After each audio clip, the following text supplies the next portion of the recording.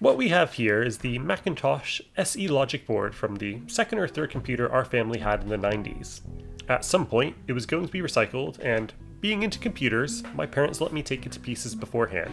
This Radius accelerator on top, with its golden 68020 CPU and 68881 FPU, made it irresistible to save. I collected it from my parents' house this summer, where it had been in storage for over 20 years. For all that time, it still had its original pram battery, which luckily hadn't leaked. I was also worried about its capacitors, but it seems that unlike the SE30, the capacitors on the SE are pretty leak resistant. You'll notice, of course, that this logic board isn't inside of a Mac SE case anymore, and that's because the rest was recycled. I thought, though, that it'd be a pretty interesting project trying to bring it back to life, and this is the result. First, I needed power. The power connector on the SE is keyed the same as an ATX 20 pin connector, and the voltages are all available on an ATX power supply as well. So, a new power source was a fairly straightforward rewiring job. After wiring up power, I was excited to hear a chime, confirming that despite adding storage, the board still worked. The second step was video, which is where things become complicated despite the comparatively simple video output of the SE. The 512 by 342 black and white signal is carried over three wires, vertical sync, horizontal sync, and then video intensity. Connected to the SE's original CRT, the vertical sync tells the electron beam to go to the screen top left corner, where it proceeds to scan across and either light up the phosphor or not. At the edge of the screen, the horizontal sync tells the beam to go back to the left side where it proceeds to scan across again. This is basically the same way that VGA works, but at different refresh rates, making the direct signal incompatible with most monitors.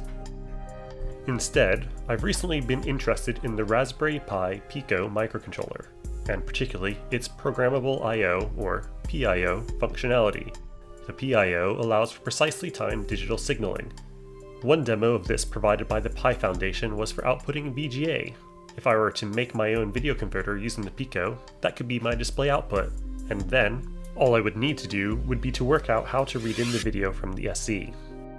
Before investing a lot of effort, I did confirm that a display signal was being generated using an oscilloscope though, I think, in the end, the key to making everything work was understanding the interaction between the different clock frequencies. There's the system clock that the Pico runs at, and then there's the PIO clock, which runs at a multiple of the system clock. Then there's the pixel clock, which is the frequency at which the video signal updates to light up the pixel or not.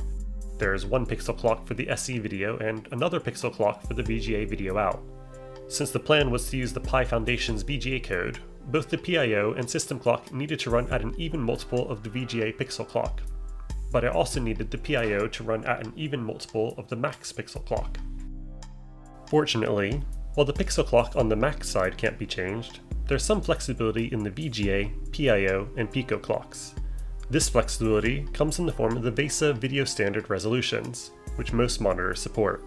These resolutions have a range of different pixel clocks, and particularly, most monitors support the XGA standard.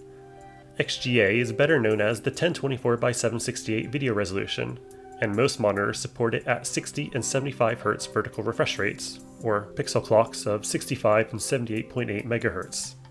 Because of how video signals are decoded by monitors, this means that everything in between should be supported as well.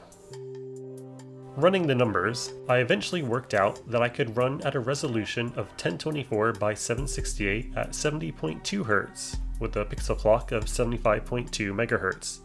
Conveniently, 1024 is double the 512 horizontal resolution of the SE. Because of this, I want to display each pixel twice, so I can actually use a pixel clock of 37.6 MHz. This divides evenly by 5 into a system clock of 188 MHz, which also divides evenly into the SE's pixel clock of 15.67 MHz 12 times. At this point, I could confirm that the odd refresh rate successfully worked on my bench LCD.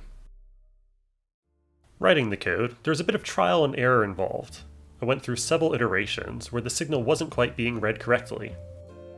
Eventually, I nailed down a solution, in short, the PIO program sends the pixel data directly to a pixel buffer in main memory using a DMA channel transfer, which is reset by interrupt.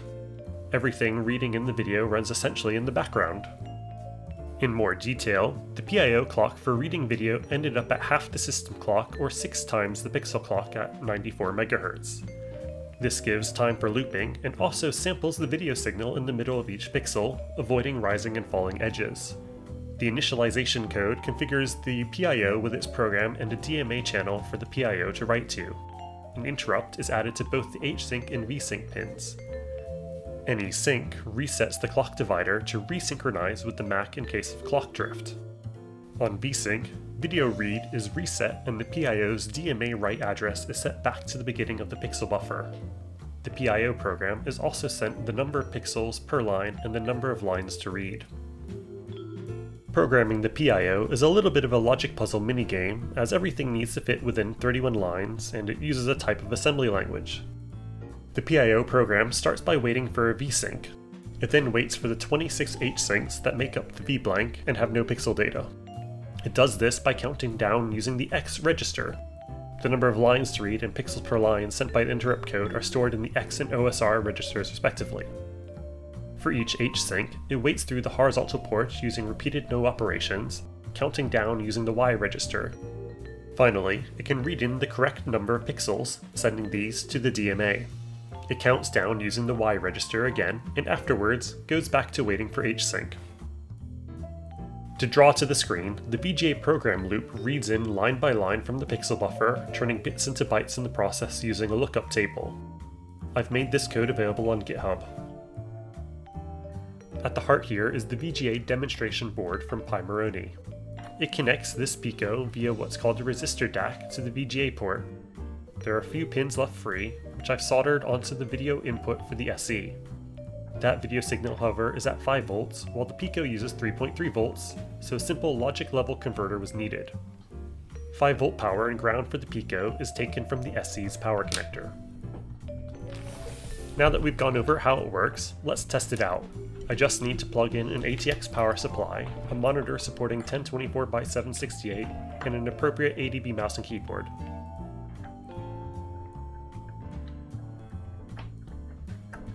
Oh, and a SCSI device so that there's something to boot from, which is taking the form of a RaSCSI. The power is wired so that turning on the power supply turns on the system.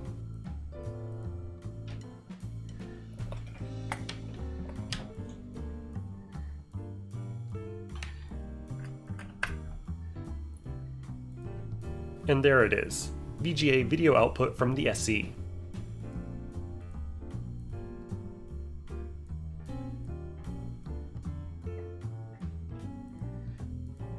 Although the 70.2 Hz vertical refresh rate is not quite what you'd expect, it's worked on every monitor I've tested that supports XGA. This includes CRTs, LCDs, and even VGA to HDMI adapters.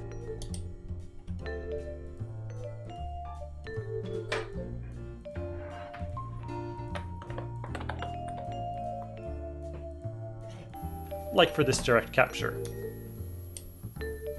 Thanks for watching, and I'll leave you with this little bit of my personal nostalgia from this very SE. Oh, I love